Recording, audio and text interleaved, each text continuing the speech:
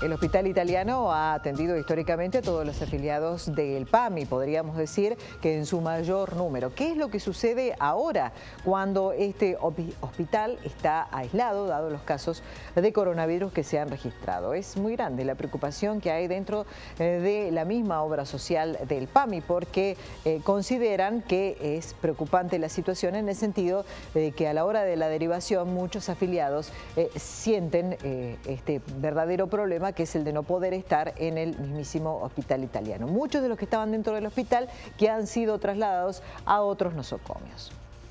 El Aconcagua, el Santo Tomás, la Romagosa y el, Sucre.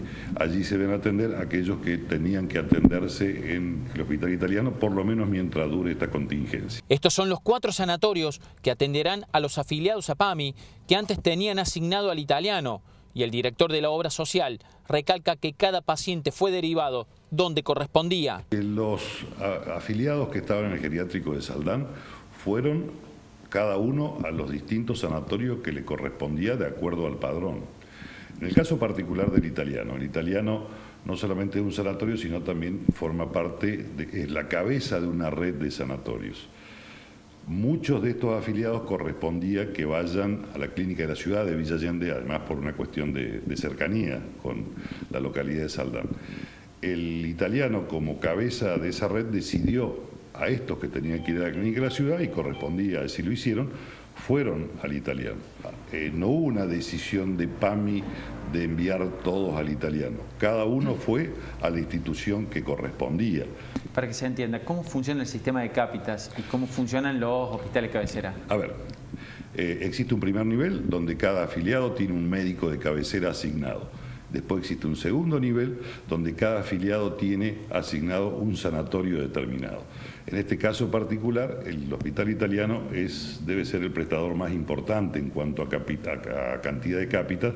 Me sorprende que haya ocurrido esto, eh, este brote en el hospital y que se lo vincule con lo ocurrido en Saldán. Sí, por supuesto que nos sorprende y lo lamentamos muchísimo.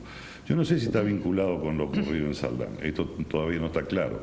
Aparentemente esto es materia de investigación, bueno, hay una investigación administrativa en curso, habría ingresado, sería una persona que ingresó con otra patología, desconociendo que además estaba infectada con el virus, porque llama la atención de que los empleados que se contagian no son los del área de terapia intensiva donde estaban los infectados con COVID, o sea, los que provenían del geriátrico de Saldán, sino que es personal de otra área del hospital.